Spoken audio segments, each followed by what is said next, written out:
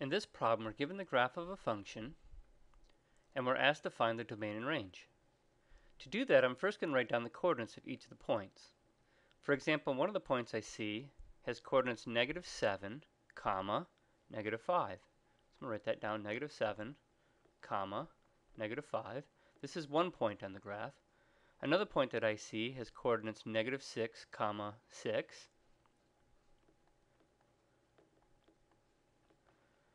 Another point would be negative 4, comma, negative 9. Another point up here would be negative 1, negative 2. So it's negative, the x value is negative 2, the y value is 9, negative 2, comma 9. The last point that I see here has an x value of 10 and a y value of negative 8. So that would have coordinates 10, comma, negative 8. Now notice there's no line segments connecting these dots. You may not know it, but if we were actually to connect any of these two dots with a line, you've significantly changed the graph. Well, what that would mean is that the graph has not just five points anymore, but infinitely many. There's infinitely many points between any two points on a line segment, not just the whole numbers. Now, as math teachers, we tend to focus on whole numbers because they're easier to look at on the graphs. But it turns out that there's infinitely many numbers on a line segment. But for this problem, there was no line segment drawn. So I need to find the domain and range just given these five specific points. So the domain over here, if you remember what domain is, the domain is just a set of all possible inputs, which are my x-coordinates. So I just need to list the x-coordinates over here, negative 7, negative 6, negative 4, negative 2, and 10. But mathematicians have a particular notation that we use you have to put your set of ordered pairs in what are called braces, or some people call them curly brackets.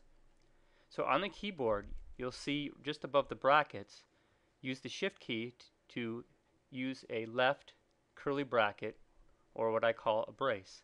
So in my domain, I'm going to put left brace, and then I'm going to start listing my x values. Since they're just x values, not the points, that would be negative 7, and then we separate them by a comma, negative 6, negative 4, negative 2, and finally 10. Those are all my possible inputs. So I'm going to use a right curly bracket. To use This is basically called set notation. It's used to just list a set of finite number of things. Now my range is slightly different. My range is just all the possible outputs. There'll be five on this graph because there were only five specific points. So the range is listed the same exact way with these braces. And what you would, do is, you would do is just simply write down all your y values. So my y values are negative 5, 6, negative 9, 9, and negative 8. Might surprise you to know that they don't actually have to be written in the order that I've written them here. In fact, some people would probably insist that we write them uh, in order of ascending order, like I did here, negative 7, negative 6, negative 4, but um, it just happens to come out that way. Uh, so my range here is going to be, let's see, my first y value was negative 5, second y value was 6. I'm just systematically going down the list here. Negative 9,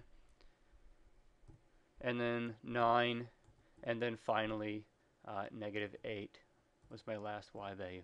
So I'm going to make sure I remember to put my what's called a curly brace, or bracket, or a brace, um, and that would be my range, the set of all possible outputs. So for this graph, since there's five distinct points with no line segments between them, there's a finite number of possible inputs and a finite number of possible outputs.